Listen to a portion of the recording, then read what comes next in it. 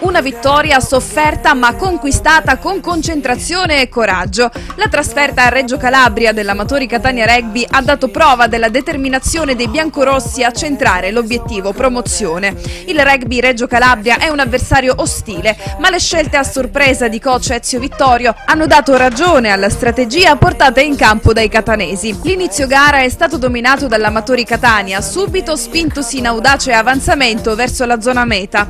Il Reggio Calabria Calabria è riuscito a trovare spazio a causa di un fallo degli etnei e da una serie di occasioni mancate dai catanesi, come ad esempio il clamoroso calcio di Borina che non ha preso il centro dei pali. Errori ed occasioni mancate hanno rallentato il ritmo di gara.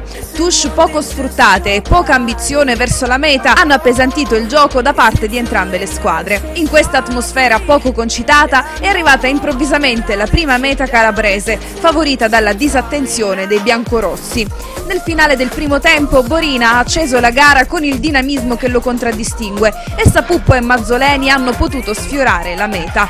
Sulla mischia i catanesi hanno dominato per tutta la gara con una pressione inarrestabile, concretizzata dalla meta perfetta di Vasta che ha fissato il primo tempo sull'8 ad 8. Ad inizio ripresa Vasta ha proseguito lo spettacolo. Tush vinta, scatto bruciante fuori mischia e fulminea conquista della meta, coronata dal centro dei pali ad opera di Borina.